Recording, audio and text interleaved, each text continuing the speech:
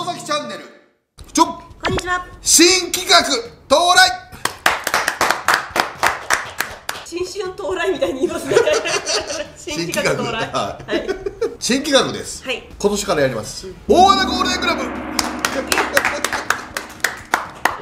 いつも毎年大穴ベストナインっていうね、はい。今までベストナインを1回も取ったことない選手で今年初受賞する選手はこの選手ちゃうかっていうのを予測していくっていうね、とやってるんですけども、はい。えー今季から、えー大穴ゴールデンクラブと、ね、本当はこいつ守備うまいんだけどねと、まあ、でも記者投票もあるから、はい。取れてないことが不思議と、もし初受賞するとしたら、この選手たちちゃうかっていう、ゴールデングラブに初受賞最も近い男を予想するっていう、おなるほど、ね。あのこれベストナインでやった時も結構セ・パともに2人ずつぐらいは当たってたり初受賞あるからね。あるんですよ。うんなので今年もあるんじゃないかと。そう、ん。ゴールデングラブね、はい。でもゴールデングラブは、打つだけじゃ取れないから、で本当に守備がうまくないとやっぱ取れないうん。であとはイメージとかもあるからね。ありますね。イメージ投票あるから、うん。これを覆すのは大変なのよ、はい。セカンド菊池王国とか、うん。ショート今宮源太みたいな、うん。これを覆すのって大変なわけよ、だ去年中野選手が二塁取ったじゃないですか、う。んこれはだからすごい穴を開けた感じですよね。そうだね、うん。菊池からね、はい。うん。うん。あとピッチャー東ね。はいそうですね。うん。うん。でキャッチャー坂本でしょ、はい。出てきてね。だ結構初受賞いるんだですか。そうだね。去年だってだったら東初優勝やっぱ優勝チームがめちゃくちゃ多い、坂本も初優勝、はい。大山初優勝、中野、木浪外野が近本岡林桑原ねセ・リーグだったね。みんなことありますね、うん、今日まあセ・リーグ編だからね、はい。まあ、優勝補正入るからね、入りますね、うん、やっぱよく見えるっていうね、はい。うん。うん。投票だからね。はい機械的にやるわけじゃないからね、っていうところで、い。ピッチャーね、うん。まず決めよう選んでいかないといけないですね。あでもやっぱり10勝ぐらいしないといけないですよね。最低10勝ぐらいは、やっぱりそのねいくら守備って言っても、記録出さないと、めちゃくちゃフィールディングいいとか。うん、だけじゃ取れないから、そうなんですよね。うん。うん。ピッチャーなんて、守備本当にうまくても、はい。ネームバリューなかったら、思いついてくれないから投票されないからね、いやそうですね。うまいやつはいっぱいいると思う。書いてくれないですね。書いてくれない。知られてないから名前、うんである程度結果も残さなきゃいけないしやっぱエースクラスじゃないと、はいまあ、6番手ぐらいとかだと、ん5番手とか、はい多分守備うまくても見てくれてないからね。そうですねん。で考えた時に、はい俺は今年初優勝あるんちゃうかっていう一人を導き出してセ・リーグで、はい戸郷。ああ取ってないんですね。取ってないのよゴールデングラブは、柔軟勝してる年ありますけどね。うん。ゴールデングラブなかなか取れないからねそうですピッねチャーね。加減が分かんないしね、ピッチャーの守備力いいって難しくない？難しい。なんなんみたいな。ピッチャーゴロを取るのとか、バントのフィールディングとかでしょ。なんかピッチャー返しをなんかギュッて取るような。うんうん。しかもそういうのってはい。回数少ないやん、バント処理を取ってセカンドサードにアウトにするって年間通して何回やんねやって話なのそうですね。だから野手に比べると、守備のうまさをアピールする機会って少ないのよ、ないですうん。ねってなった時にだって去年の東っつって、いや東のフィールディングめちゃくちゃうまいのプレー記憶どれですかって言った時に多分1個か2個なんだよ。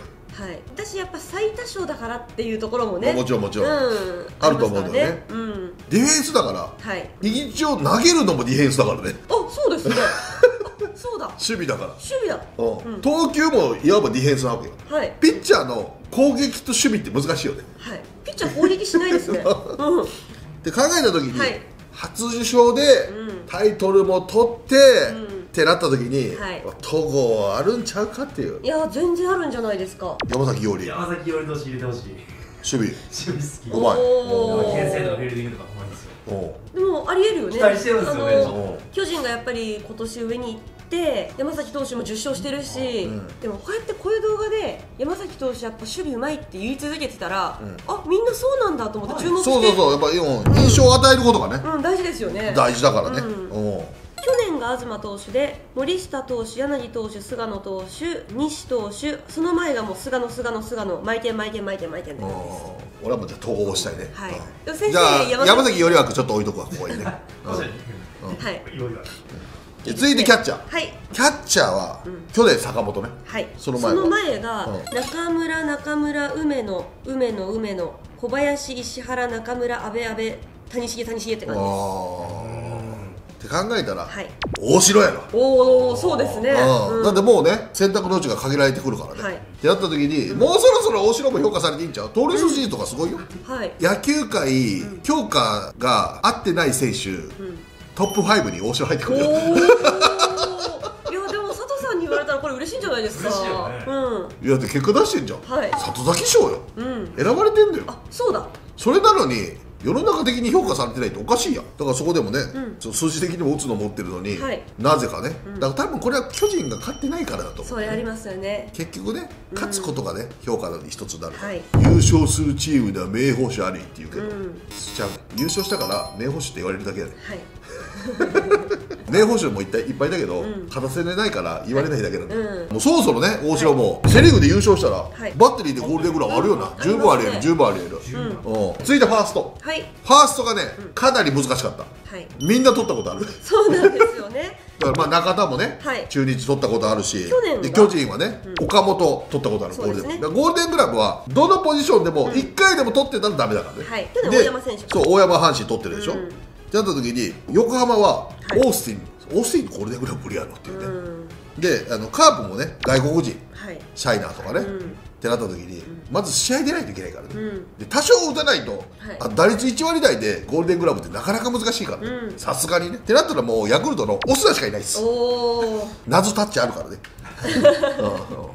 シャドウタッチアウトあるから、はいまあ、岡本が最有力っぽいけど感じするけどな。守備うまいから、でもチャンスあるよね。で続いてセカンド。はい。セカンドもね、ん限られてくるわけよ、うん。そうなったらもう、うん。吉川一択よ、はい。やっぱ吉川が次のゴールデングラブになんなきゃいけないしね、うん。正直ね。取んなきゃいけない選手ではあるよね、そういった意味では吉川がね、うん。取れるかどうか。取れるうちに取っとかないともう一生手届かなくなるからね。ですね。はい。でしかもセカンドなんてよ。菊池が取ったことでしょ、で去年中野が、はい。だからもう阪神広島はないでしょ、はい。でベイスターズが牧でしょ、はい。で巨人が吉川でしょ、ん。でヤクルト山田でしょ、で中日は誰が守るかすらも分かんないやろ、はい。ってなったらやっぱりその中だってやっぱり吉川が一番ねポテンシャル守備では高いんじゃないのかなっていうね初優勝に向けてはあでもね山田選手はベストナインは取ってるけどゴールデングラブは。それはもう菊池王国に負けてるから。やっぱないのかそっか。うん。なんか本人も言ってましたもんねゴールデングラブ取りたいって。そうそれは取りたいでしょ、うん。菊池なんて何回10回ぐらい取ってんちゃう何回そのぐらい取ってるんじゃ7ないです回か。か？1 7 2回。3 4 5あ10回だ。7 8よ横に書いてる。10回取ってる。横に10あ横に書いてます？10回だよもう。起き起ききらへんだよですね。ただですねあれあれ10個持ってるんですか？あれ10個も 起ききられへん本当。サードもね、ん。村上がまだ取ったことないから、はい。まあ、昨年ねエラー数が一番多いっていうところで、ん今年ねしっかりキャンプでも練習して、ね、ちょっと臀部の下痛めたけども、はい。必死で頑張ってる姿を見てる中でね、まあ、取りたいやろ本人もね、はい。でその中で、まあ、阪神はねサトテルサトテルはそんなまだねゴールデングラブちょっと押せない。まだね、うん。正直ね、はい。でカープがね誰が守るか分かんないっていう。ああそう。ですね。うん。そうなってきた時にね、はい。ちょっとそれは押せないね、ん。まあ、レギュラーも決まってないからね、うん。でベイスターズ宮崎、はい取ったことあるからね。去年も取りました。でジャイアンツが坂本、うん。これショートでね取ったことあるからね、はい。まあ、サードでもゴールデングラブ取るかも分かんないけどね、うん。でヤクルトがね村上、うん。で中日が石川、はい。ってなった時にまあもうこれはもう村上に頑張ってもらうっていうね、急先鋒になるやろうと、うん。ゴールデングラブね。うん。やっぱダブル受賞しなきゃいけないっていうところではね。結果は出す必ず出すじゃないですか。そうそうそう。だからまあエラー少なく守備で、うわ今年うまくなったなっていうのをね、はい。見せることが必要だ。ねそしたら取りますね。うん、取る、続いてショート、はい。阪神が木浪でしょ、ん。去年取でしょ、はい。カープが小園ね。はい。でベイスターズはちょっとショート誰が出るか分かんないよね、うん。まだねでジャイアンツが門脇。はい。でヤクルトが長岡、で中日はもう誰が出るか分かんない、うん。ってやった時に小園か門脇だから。うん。おどっちにするんですか？これはもう小園を押していこうおおまだ門脇はね確約って言われてるけどまだ過ごしたわけじゃないからね、はいまあ、勝負の年でもあるからね、で続いて外野はい。ここ誰かだよね、外野で取ったことない人？パッと守備うまいで言ってもほぼ取ったことあるんじゃんね。そうなったらよ。はい。一人目ははい。渡来行こういっちゃいます ああもう今もうノリノリでやっていくか試合、い、スタメンも確実なんですか？やもうこのままオープン戦乗り切れば開幕スタメン行くんちゃう、うん。だってそのためにオースティンがファーストになってるから、うん。それこそ桑原佐野でいけば一つ空いてるしね。うん。希望枠でいるとこ、う。ん。でも1年出たらね可能性守備もうまいからあるからね、うん。正直ね。あと誰います？あとねだって阪神の外野が両翼分かんなくて近本は取ったことある。じゃあ森下とかね。候補はね、うんでカープが秋山とかを取ったことある。だから田村とかになってくんだよね。野間とか、うん。横浜がだから佐野とか渡来とかでしょ？小原あるから。ジャイアンツが秋広とか松原とかヤクルトが塩見サンタナ、塩見選手は取ってます。うん、でレフト誰かでしょ、はい。で中日が大島岡林細川、うん。で大島取ったことあるでしょ？外野の初受賞。ちょライバル多いぞ、うん。しかもそんな守備うまいやつ。野間やな。今挙げた中だったらチャンスあんの野間やな。あと一人森下選手？守備？ゴールデングラブやで、はい。まだ早いまだ早いんちゃう？解説者としては正当なチャンスある中で行きたいよね、うん。選択肢がそこしかなかったんだったら仕方ないけど、あとあと誰？あ関で関であるね。でもお前試合で試合も去年はねすごい出たけど、うん。だから渡来が出たらね。そうなんですよ。で桑原が出ないパターンもあるのかな関根。小原さんちょっとまあ怪我で。関根センター、渡来センター関根ライトああ関根ね。ワンチャンあるね。だって秀則だってね、はい。守備固めでゴールデングラブ取ってるからな。だからゴールデングラブは守備固めでも取れる可能性あるから、はい。そう考えたら外野のスペシャリスト島田とか？島田会。強豪が多い中で。スペシャリスト守備固め必ず行ってクソうまいみたいな。広島とかだって初強思いとかでしょ？昨年補殺ランキングやったらノイジーが1位でね。あー。確かにね。何気に補殺も重要だからね。ノイジーゴールデングラブ取るほど試合出る？そこが危ういですよね。そこがね。うん。補殺12やもんな。でもエラーも6個してるけど。関でいこう。せ関でいこう。まあいろいろ考えたけどやっぱ守備うまくてワンチャンあるの関根やな、うん。ワンチャンある。戸郷大城。ファーストオスナ吉川村上小園ショート関根渡来野間。うん。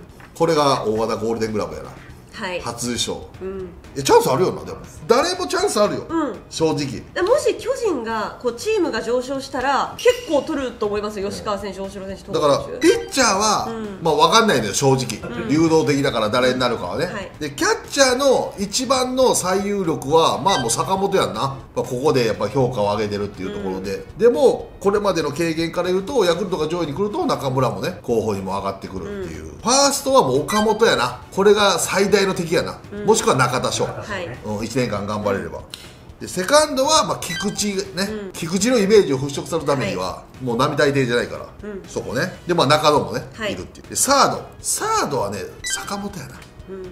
一番の敵は坂本、コンバートしてきてね。うん。でショートが、はいまあ木浪だったりショートでもちょワンチャンまだイメージ構築されてないからな、うん。まだワンチャンあるよね去年が木浪選手ですもんね。うん、まだ絶対かって言われた時に構築されてないから、ん。菊池王国みたいなのはなまはい。だなってないからチャンスあるよね、うん。で外野は、まあ、普通に言ったらよ。近本とか、まあ、岡林、だ塩見とか、はい、ヤクルトが上がってくるとやっぱ塩見選手を取ったりしかもレフトラライトセンターで分かれてんだって話は変わるけど、一色単になるから、ほぼセンターになるのよ。そうなんですよね。結局ゴールデングラブはね、そこは俺はゴールデングラブのところにポジション別にした方がいいですよって俺は何回も言ってんだけど、そうしないと全員センターみたいなね、うん、やっぱセンター目立ちがちですからね、うん。近本岡林桑原って全員センターや、うん。内野でゴールデングラブ決めんやろ、全員二遊間なんで、でも本当そうですね。ポジションごとにすればいいのにって思いますね。そうそうそう、うん。ライトレフトセンターっていいのよ、うん。そう一緒だから全員センターと思ったんや、うん。結局な、うん。いやうまくいったらね、うん。45人いけると思う。いけます。うんうん。チャンスあるよ、はい。ね、そういったところで。はい。明日はパ・リーグです。はい